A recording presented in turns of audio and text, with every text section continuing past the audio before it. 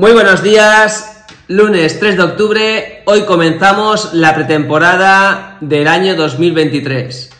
Va a ser un año espectacular seguro, nos lo vamos a currar mucho y quiero que lo veáis.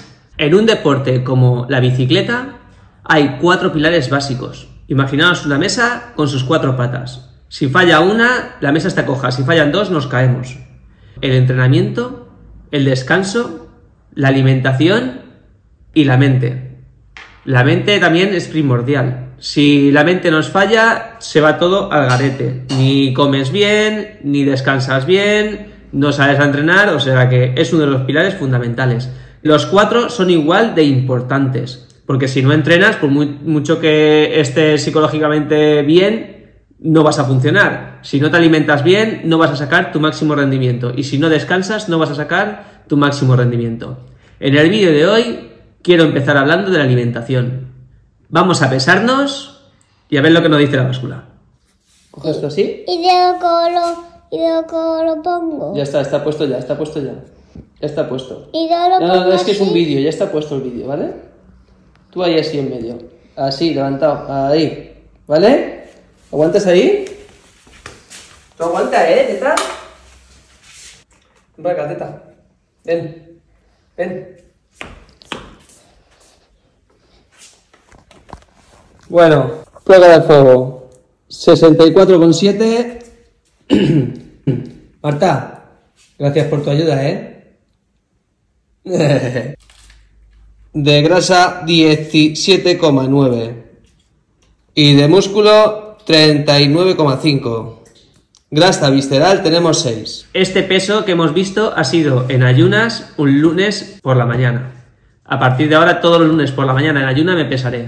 La báscula es una Omron, funciona muy bien, la verdad que, porque alguien puede pensar, pero la báscula puede estar estropeada.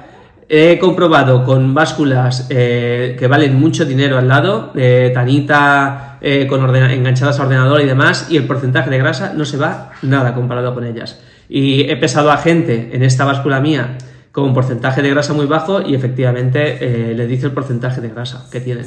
O sea que no se va ninguna barbaridad. Os la recomiendo si queréis compraros una báscula. Está en Amazon.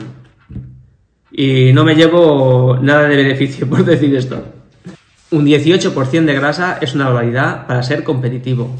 Me sobra un 10% de grasa. Por lo tanto, mi primer objetivo de este año es en la pretemporada bajar esos 6 kilos de grasa. Mi composición corporal ahora mismo es pésima para el máximo rendimiento. Bueno, os voy a contar cómo pienso mejorar mi composición corporal. Sin hacer una dieta específica, lo que voy a hacer es introducir en mi cuerpo alimentos que vayan a nutrirme. Prácticamente lo que voy a hacer es aumentar el consumo de fruta, aumentar el consumo de verduras y bajar al, si puede ser al 0 o al 5% el consumo de comidas procesadas y de sobre todo bollería que a mí me vuelve loco y, siempre estoy con ese tema, eh, para mí es una lucha interna muy grande. Yo creo que con este vídeo voy a conseguir mejorarlo, ya que sé que detrás estáis vosotros vigilando. Pues lo dicho, me comprometo a que de aquí a diciembre intentar mejorar mi alimentación para bajar ese porcentaje de grasa. Por otro lado, para el ciclismo, pero específicamente para el mountain bike, aún es más importante el tener una buena composición corporal. Por lo tanto, necesito también aumentar mi porcentaje de, mi musculatura. Para ello, de momento, durante este mes de octubre, voy a hacer todos los días trabajo de core, tren superior y piernas. Todos los días. Porque lo voy a hacer en casa y no va a ser nada de exagerado que necesite una recuperación de 48 o 72 horas. Sería así como una iniciación a la fuerza para conseguir una base y luego ya es posible que en noviembre, diciembre y enero vaya al gimnasio. Un buen acondicionamiento de tres meses para mejorar tus capacidades como la resistencia y la fuerza serán fundamentales y garantías de éxito. Intenta ser constante, cuida tu alimentación, tu descanso y disfruta de cada metro que recorras con tu bicicleta. Bueno, pues como he dicho, hoy empezamos la pretemporada. Tema de entrenamiento hoy está complicado. No, puedo salir hoy de casa porque tengo a mi nena con el virus de la tripa. La verdad que ya, gracias a Dios, se encuentra bastante bien. Ayer estuvo muy fastidiada, pero hoy ya se encuentra bien, aún así no la hemos querido llevar al cole y, y estoy aquí en casa con ella, claro. Entonces, el tema de entrenamiento hoy se va a tener que hacer en casa.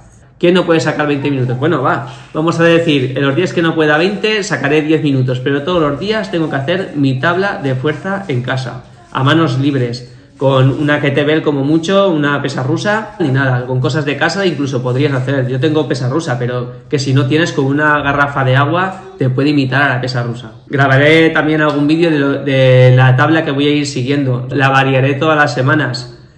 Intentaré hacer vídeos sobre ello. Pero bueno, nos centramos en el, en el vídeo de hoy. No voy a pesarme la comida, no quiero meterme eh, en ese fandango porque si no... Eh, al final me he dado cuenta que cuando he ido haciendo esas cosas lo termino sin, hacer. Por lo tanto, lo que quiero hacer es alimentarme bien, con alimentos sanos, mucha fruta, mucha verdura, pescado, carne, hidratos de carbono en forma de patata, boniato, arroz, por supuesto aceite de oliva. Pero, sin embargo, tenemos que estar en déficit calórico. ¿Qué significa eso? Tenemos que gastar más que lo que comemos. Y para mejorar la pérdida de peso van a, ser, van a venir súper bien el trabajo de fuerza. El trabajo de fuerza lo podemos hacer con intensidad. Mientras que yo ahora la bicicleta no la quiero hacer con intensidad. Quiero mejorar mi resistencia, mi fuerza, pero no le voy a aplicar intensidad. Y el aplicar intensidad hace que el cuerpo se active y el metabolismo de las grasas trabaje de forma más eficiente. Es un mito lo de que para perder grasa haya que ir despacio, tal, no. Se pierde grasa también, vas a perder grasa, pero cuanto más grasa pierdes es cuanto más intensidad haces. De hecho, si competís y demás, veréis que cuando empiezan las carreras el peso sin querer va para abajo porque estás haciendo series muy intensas, la carrera del domingo es muy intensa y eso hace que bajes más peso que en invierno. En invierno, aunque tú salgas a rodar en Z2, Z3, no pierdes más peso que cuando es época de intensidad. Bueno, muchas gracias por ver el vídeo. Eh, espero que haya podido transmitir bien lo que quería. Como os he comentado, todas las semanas me pesaré. En los vídeos que vaya haciendo iré poniendo cómo va la progresión del peso. Y no sé, si queréis más vídeos sobre esto de nutrición y demás, podemos intentarlo. Sobre todo si no tenéis conocimientos de nutrición, es importante que os pongáis en manos de un nutricionista. Mente siempre positiva. Como la mente no te acompañe, te lo tienes que creer tú. Si te da igual si el, si el de al lado se lo cree o no se lo cree. No te afecte lo que te diga la gente, porque si no estarás hundido. Tú te lo tienes que creer tú mismo y trabajar por ello. Y nada, familia, pues eso. Nos vemos en el próximo vídeo. Espero que os haya gustado. Acordaros, darle like, eh, suscribiros si no estáis suscritos. Y nos vemos en el próximo vídeo. ¡Hasta luego! De la campanita. Ah, pues ven y solo tú, ven. Ven y solo tú. Ahí, ven. Que se acuerden, ven. Díselo. Acordados de la campanita. Acordados de la campanita para suscribiros, ¿eh? ¿Es que sí? Sí. Dile adiós.